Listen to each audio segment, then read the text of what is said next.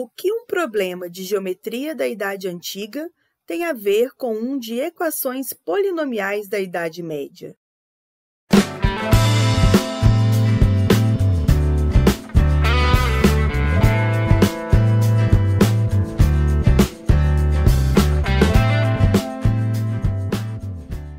Olá, eu sou Joyce Pimentel, pesquisadora e professora de matemática e neste IMEF, escrito em parceria com o professor Tiago Reis, falaremos sobre fórmulas ou a falta delas para soluções de equações polinomiais.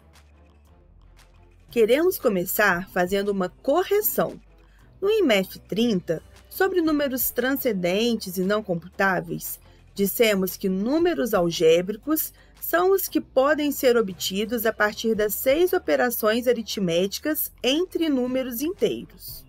Bem, de fato, todo número que pode ser obtido a partir das seis operações aritméticas entre números inteiros é um número algébrico, mas nem todo número algébrico pode ser obtido assim.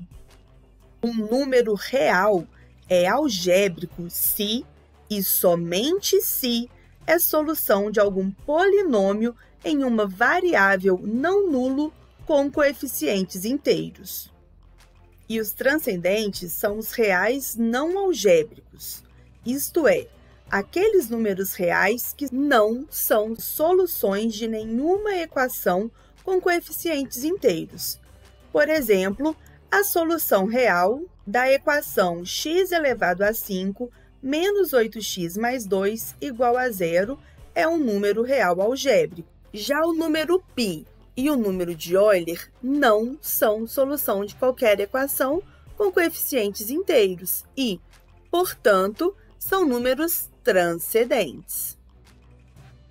Isso nos leva a duas questões muito importantes na história da matemática que foram solucionadas utilizando-se a mesma ferramenta. A matemática praticada pelos gregos antigos se baseava no método de construção por régua e compasso. A régua era utilizada para se fazer linhas retas e o compasso era utilizado para se transladar e rotacionar estas linhas retas. No IMEF futuro, podemos falar com mais detalhes sobre as construções geométricas por régua e compasso. Vários problemas de geometria foram surgindo e sendo solucionados através do método de régua e compasso, até que três problemas permaneceram sem solução e por isso ficaram famosos. O problema da duplicação de um cubo, o problema da trissecção de um ângulo e o problema da quadratura do círculo. O primeiro era: dado um cubo qualquer, construir um cubo com o dobro do volume. O segundo, dado um ângulo qualquer, construir um ângulo com um terço da medida. O terceiro, dado um círculo qualquer, construir um quadrado de mesma área. O que é chocante é que apenas séculos e possivelmente milênios depois da proposição destes problemas é que a matemática teve ferramentas suficientes para descobrir que eles não possuem solução por régua e compasso. E por que não? Tomando o lado do cubo como unidade, o volume do cubo é 1. Construir então um cubo com o dobro do volume significa construir um segmento de reta de comprimento raiz cúbica de 2. Dividir o ângulo de 60 graus em três partes iguais significa construir o ângulo 20 graus, que pelo método de régua e compasso significa construir um ponto de abscissa cosseno de 20 graus. A fórmula para o cosseno do triplo de um arco é cosseno de 3α igual a 4 cosseno ao cubo de alfa menos 3 cosseno de alfa. Fazendo alfa igual a 20 graus, o número cosseno de 20 graus é a solução da equação 8x ao cubo menos 6x menos 1 igual a zero. Tomando o raio do círculo como unidade, na linguagem de hoje, que não era usada pelos gregos antigos, a área do círculo mede π.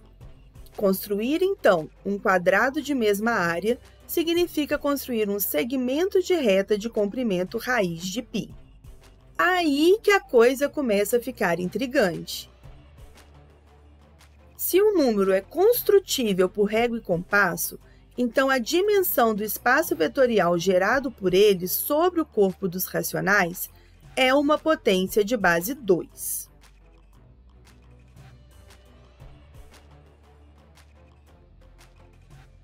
O espaço vetorial gerado é um corpo e sua dimensão é chamada de grau da extensão de corpos.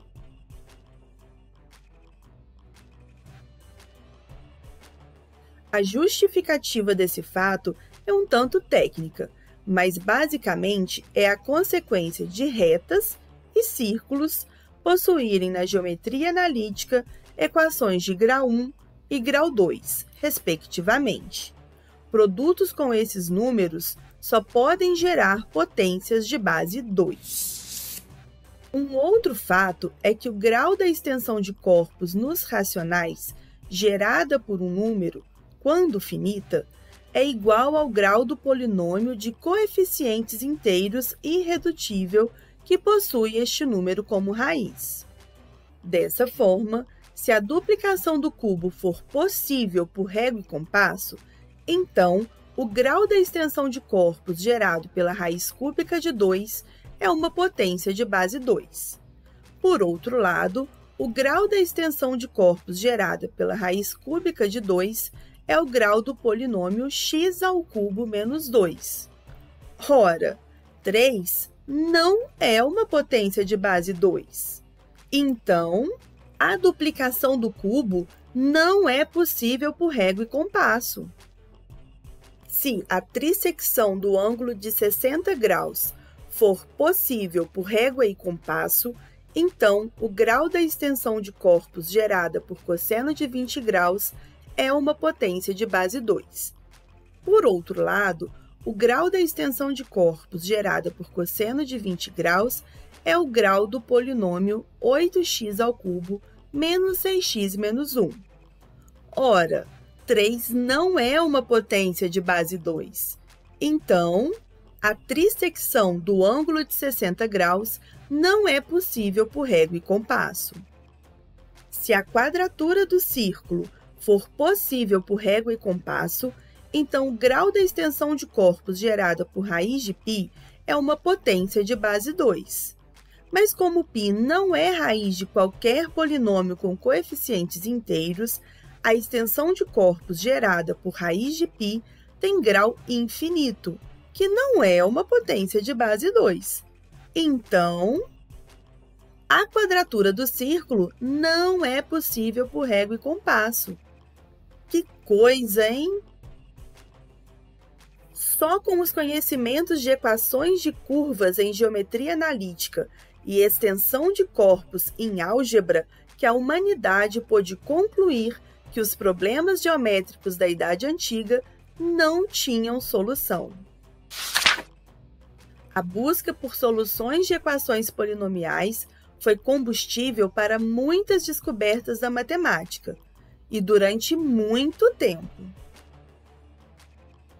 As equações de primeiro, segundo, terceiro e quarto graus possuem fórmulas para se encontrar tais soluções. Durante séculos, matemáticos e matemáticas procuraram por uma fórmula geral para a solução de equações de quinto grau. Por fórmula, nos referimos a uma função dos coeficientes que envolvam apenas as operações aritméticas básicas, incluindo a radiciação. Então, usamos a expressão solução por radicais para significar fórmula. O que é chocante é que apenas séculos depois de se conhecer fórmulas para soluções de equações de até quarto grau, é que a matemática teve ferramentas suficientes para descobrir que as equações de grau 5 em diante não possuem fórmulas. Como comentamos no IMF 73 sobre o método de Newton, não apenas não existem fórmulas para soluções de equações de quinto grau em diante, mas também que elas nunca existirão. Isto é, não é que ninguém não tenha encontrado até agora e o problema permanece em aberto. Não, é impossível existirem tais fórmulas. O matemático Niels Abel, completando o trabalho de Paulo Ruffini, demonstrou que não existe solução geral por radicais para equações de grau 5 em diante. Alguns casos particulares de equações possuem esse tipo de solução, mas não todas. Por isso, a afirmação de que não existe uma solução geral, não existe uma fórmula geral. E por que não? Foi Évariste Galois quem estabeleceu critérios para se decidir se uma dada equação possui solução por radicais ou não. Dado um polinômio com coeficientes inteiros, a teoria de Galois constrói a extensão de corpos sobre os racionais gerada pelas raízes do polinômio e faz uma correspondência entre as subextensões desse corpo e os subgrupos de um determinado grupo de permutações das raízes do polinômio. A equação possui solução por radicais se estes subgrupos possuem uma determinada propriedade de grupos, que deixaremos os detalhes técnicos para uma próxima. Só com os conhecimentos de extensão de corpos e grupos de automorfismos em álgebra que a humanidade pôde concluir que as equações polinomiais de grau maior ou igual a 5 da idade média não são passíveis de fórmulas. Por exemplo, como consequência do teorema do valor intermediário, ah, dá uma olhada no IMF 111. A equação x elevado a 5 menos 8x mais 2 igual a zero possui um número real como solução. Por ser solução de uma equação polinomial com coeficientes inteiros, este número é um número algébrico. Mas utilizando-se a teoria de Galois, pode-se mostrar que ele não é obtível por radicais. Ou seja, ele não pode ser obtido a partir das operações aritméticas básicas, incluindo radiciação em números racionais. Valeu, pessoal! Obrigada por nos assistir. Veja também o vídeo sobre números transcendentes e não computáveis.